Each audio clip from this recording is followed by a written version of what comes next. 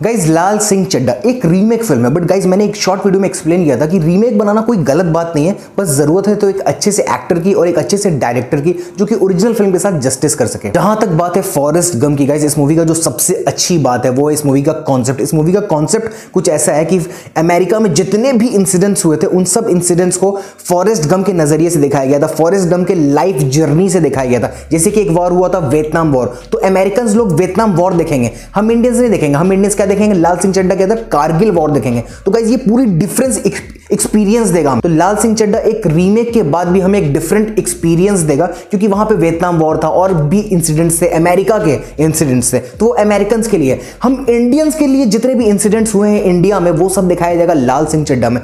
Totally different experience होगा वो। तो एक रीमेक के बाद भी ये एक फ़िल्म पूरा एक नया एक्सपीरियंस है। तो रीमेक बोल के इस मूवी को इग्नोर करना तो ये सही बात तो है नहीं, क्योंकि एक्सपीरियंस काफ़ी कुछ नया है इसमें। एंड गाइस आमिर खान की last film Thugs of Hindostan निहाई थी पकाऊ निहाई थी बोरिंग फ़िल्म थी बट अगर इस फ़िल्म को साइड में रखा जाए तो आमिर खान की सारी की सारी फ़िल्म बहुत लाजवाब फ़िल्म है। मतलब उनकी film PK Dangal three idiots इन सब फ़िल्मों के आसपास भी कोई फ़िल्म नहीं यार। मतलब ये बात तो एकदम डेफिनेटली मानना पड़ेगा कि आमिर खान बहुत ही एकदम एक्स्ट्रा ऑर्डिनरी टाइप की फ़िल्म बनाते हैं, जो कि देख के बहुत ज़्यादा मज़ा आ जाता है। ये बात तो कहना ही पड़ेगा कि आमिर खान एक बहुत ही विजनरी इंसान है, काफ़ी बेहतरीन फ़िल्म वो बनाते हैं, जो कि मैसेज के साथ होती है इंटरटेनमेंट तो भर गया होता है इसके बाद ट्रेंड चल रहा है बॉयकॉट लाल सिंह चड्डा मतलब आमिर खान इंडियन नहीं है मतलब जरा सा कोई लॉजिक है इस बात में। मतलब अक्षय कुमार के पास कनाडा का पासपोर्ट नहीं है तो वो इंडियन नहीं है। आमिर खान ने कोई स्टेटमेंट बोला तो आपने उसको तोड़ मरोड़ के अपने मतलब के हिसाब से बना दिया और बोल दिया कि भाई आमिर खान इंडियन नहीं है। मतलब कोई लॉजिक नहीं है। मतलब आप अगर अपने दिमाग से कचरा वाला दिमाग हटा के, अगर नॉर्मल तरीके से सोचो और आँख बंद करके बाद सोचो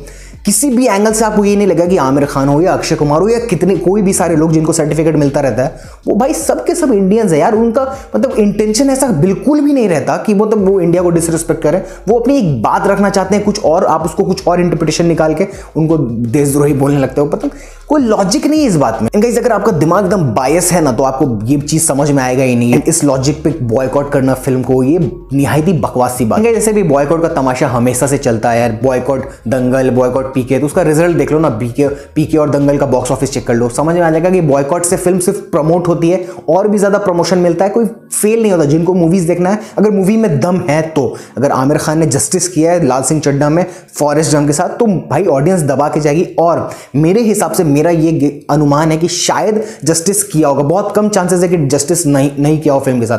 तो मैं तो ये समझता हूँ कि यार ये फ़िल्म डेफिनेटली ब्लॉकबस्टर होगी। थग्स ऑफ़ हिंदुस्तान यार मतलब निहायती घटिया बोरिंग उसने बावन करोड़ का ओपनिंग लिया 52 करोड़। आमिर खान का ये स्टार्डम है, सोच लो।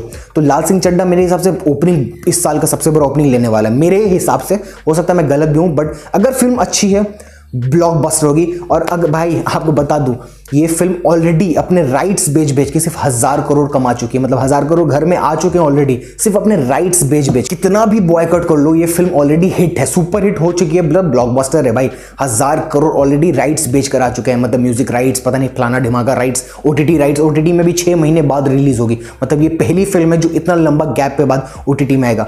तो भाई, अब चाइना में ये फ़िल्म 500 करोड़ में बिका है। 500 करोड़ समझते हो 500 करोड़। मतलब चाइना के ये बहुत बड़े सुपरस्टार है भाई, आमिर खान। क्योंकि दंगल इनकी फ़िल्म हज़ार करोड़ से भी ज़्यादा कमाई थी चाइना में। तो भाई, लाल सिंह चड्डा सुपर हिट अभी बन चुकी है। स्टोरी में अगर दम हुआ तो ये फ़िल्म ब्लॉकबस्टर होगी। आमिर खान की सारी फ़िल्म के रिकॉर्ड तोड़ देगा। क्योंकि जो इंसिडेंट्स जिस तरीके से इस फ़िल्म में दिखाया जाएगा ना, वो काफ़ी लाजवाब होने वाला है। मतलब कारगिल, और भी बहुत सारे इंसिडेंट्स सिर्फ़ कारगिल की बात नहीं कर रहा हूँ यहाँ पर और भी सारे इंसिडेंट्स वीडियो ओवरऑल मकसद ये था कि ये जो बॉयकॉट का जो ट्रेंड चल रहा है ना, फालतू का ये ट्रेंड है। समझो आप भी कि वो प्रॉपर हिंदुस्तानी है भाई। मतलब ये बात बोलने की ज़रूरत भी नहीं है। कोई लॉजिक है इस बात में, ये बात बोलना पड़ेगा।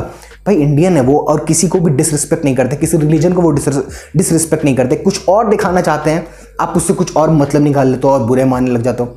बकवास सी बात है, उनका इंटेंशन ऐसा बिल्कुल भी नहीं रहता। अब आप ये मत बोलना कि तुझे कैसे पता इंटेंशन ऐसा बिल्कुल नहीं रहता। इतने कॉन्फिडेंस का मतलब खुद लॉजिक अगर होगा ना तो इतना कॉन्फिडेंस खुद आ जाएगा आपके अंदर। हल्का सा भी लॉजिक यूज़ करो कॉन्फिडेंस अपने आप आ जाएगा।